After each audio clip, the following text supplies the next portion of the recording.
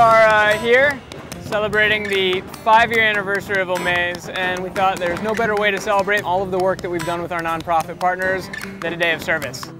Habitat for Humanity has built, repaired, or renovated more than a thousand homes throughout the greater Los Angeles area. Today we are building four brand new affordable and sustainable homes in Long Beach.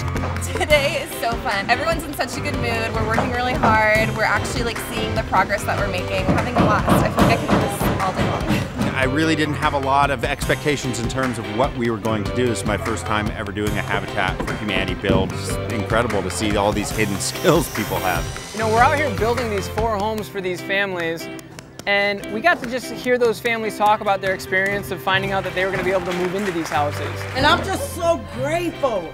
I'm so grateful for everybody because I've never had opportunities like this where people just show you love like this and helping you. I just didn't have that. I don't want to cry. I'm not going to cry.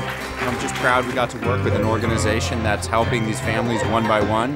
We did roofing, we laid down tar paper, we put shingles on top. I mean, this is stuff that I didn't think I was personally capable of. Just one of the most rewarding days you can have. More than 80% of all Habitat homes are built by volunteer labor. Therefore, we cannot do what we do without the great volunteers coming together to help us build these homes. None of this would have been possible without the community that we've built around Omaze. We could not be more grateful about what we're going to accomplish when we all come together. And given what we've done so far, it just it, it makes us so excited about the future. On behalf of uh, myself, my co-founder Matt, and all of us here at Omaze, we just want to thank you guys so much. Thank you. Thank you. Thank you.